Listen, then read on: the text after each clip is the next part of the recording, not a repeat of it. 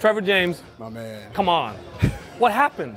Dude, it was an incredible experience. I mean, first of all, the setup and the sound quality of the mics, the mix. I mean, it, it, it's it's easy on the ears, and then seeing everyone out there enjoying themselves. You know, it's kind of like one of those things. Uh, you know, if you want to be a, a music, touring musician, but you're Germophobic and you kind of behind there, you know, but you can still feel the the energy. You know, it's all about the look on their face. You know, they, they have a smile and you know that you're doing something right and they're feeling it and they're comfortable. You know, it's, it's all about, like I said before, uh, I'm all about crowd interaction. I want them to have fun. I want them to, you know, be, per- I want to be personable with them. You know, I want to, uh, you know, bring them down to earth and say, hey, we're all here to have fun, loosen up, enjoy. You can talk back to me. You know, we can have a conversation, but still at the same time, give them good music. Did you feel at any uh, point in the session that the audience had anything to do with the way that you played? I think so. I think so. You know, after like one take, you know, the, like the first two takes were kind of a warm up. You know, we didn't have any warm up,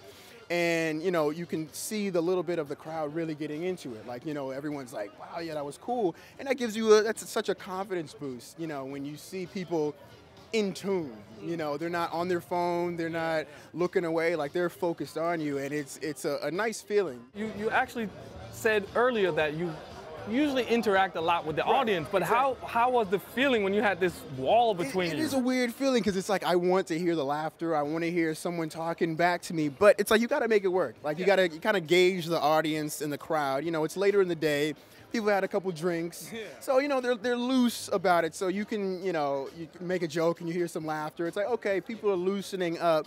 It is nice when you can hear what they're saying. Yeah. You know, I had no idea that it was going to be so you know just I can't yeah I can't hear anything, but you can see you can tell a lot about, someone's face, you know, facial expressions that you know they're, they're enjoying it. Yeah, people moving, people you know bopping their head, they're tapping their friend, going like, "Yo, check that out," you know. So it's it's it was a, an incredible feeling. You could tell that you guys had something more than just like a couple of sessions. Right? Yeah, exactly. We're not just like, "All right, man, we'll see you." You know, we're in group chats, we're clowning on each other, you know, th- throughout the day, throughout the week. So it's it's literally more like a, a, family hangout every time we get together. It's not like, okay, we're musicians, we're gonna play, and then we're gonna leave. No, we're we look out for each other. You know, we we message each other if we got a gig or if you need help.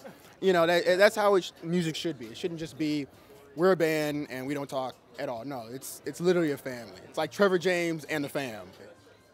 This is such a cool vibe. I feel like I'm in like like there should be a kitchen right over here. I oh, should, be, I should be making something. Welcome to the cooking show.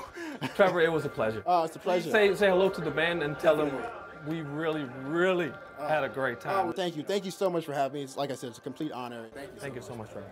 All right. Appreciate it. Have a good one. Thanks, brother.